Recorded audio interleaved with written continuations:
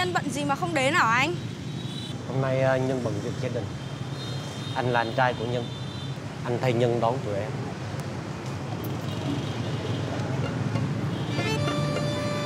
Yên đã lau sạch. Mời tụi em lên xuống.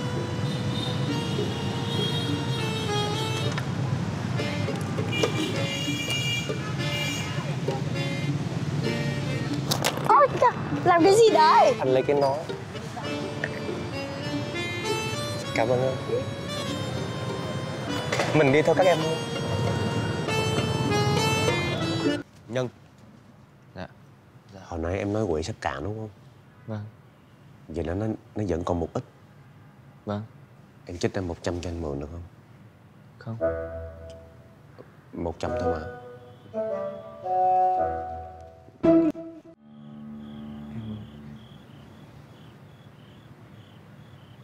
Em chọn bé sữa.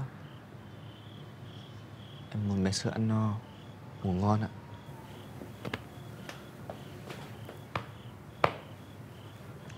Công nhận mấy đứa tóc thẳng Phát biểu nghe chuẩn thiệt.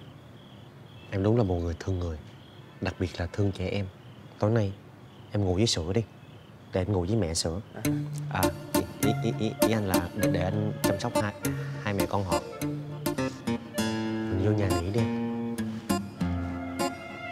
Đi